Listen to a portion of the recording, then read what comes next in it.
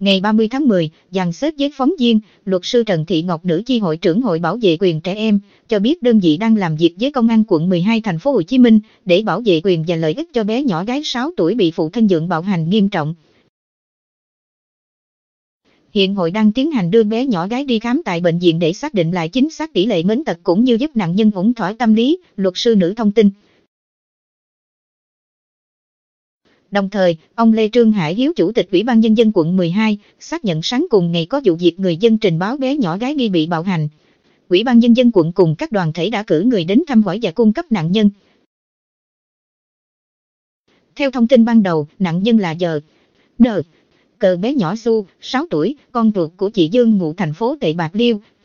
Hồi tháng 2 năm 2019, chị Dương sống thông thường như hậu phi chồng với Hà Quốc Diệt 36 tuổi, ngụ phường Tân Hưng Thuận, quận 12. Đối tượng Hà Quốc Diệt bị cầm khẩn cấp. Theo đó, khi lên thành phố sinh sống, chị Dương gửi bé nhỏ Su cho phụ thân dưỡng của mình là ông Đặng Công Hùng 46 tuổi, Trà Vinh, chăm sóc. Đến tháng 8 năm 2019, ông Hùng gửi bé nhỏ Su lại cho Dương. Sáng 24 tháng 10, khi ông Hùng đang ở nhà thì có nam thanh niên tên Mạnh chở bé nhỏ Xu về giao cho ông. Ông Hùng nghe hồn khi thấy trên cơ thể bé nhỏ gái có nhiều mến tích.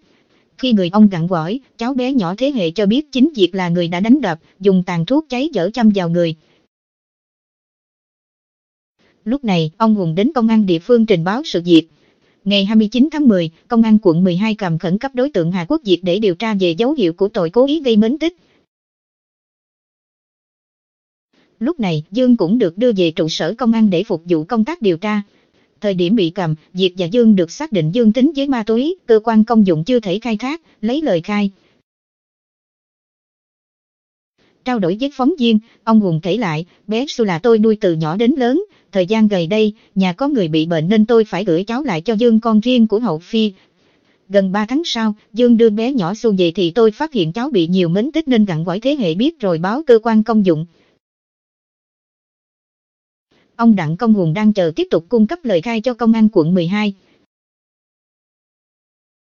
Nhìn cháu mình bị vậy tôi xót lắm, tôi rất giận dương, phiên bản thân người mẹ thì phải biết bảo vệ con cái.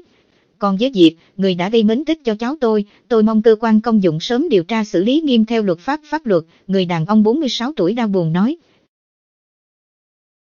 Tại cơ quan công dụng, diệp thừa nhận hành vi dùng cây đánh con riêng của hậu phi hờ vì lý do cô bé nhỏ lỡ tiểu dầm ra nệm. Đặc biệt, anh ta còn dùng điếu thuốc lá cháy đỏ gây mến tích các vết bỏng cho bé nhỏ gái. Trong phần lời khai, Dương thừa nhận việc phiên bản thân cũng có nhìn thấy việc đánh bé nhỏ Su nhưng không căn ngăn được gì việc dò đánh. Sau đó, Dương nhờ người đưa con gái về quê để ông Đặng Công Hùng chăm sóc. Hiện, cơ quan công dụng đã đưa cháu bé nhỏ đi giám định tại Trung tâm Giám định Pháp y thành phố Hồ Chí Minh. Kết quả xác định bé nhỏ gái đạt tỷ lệ mến tật 51%. Cơ quan công dụng phải câu tai, mũi, họng. Hiện vụ việc đang được cơ quan công dụng điều tra làm rõ.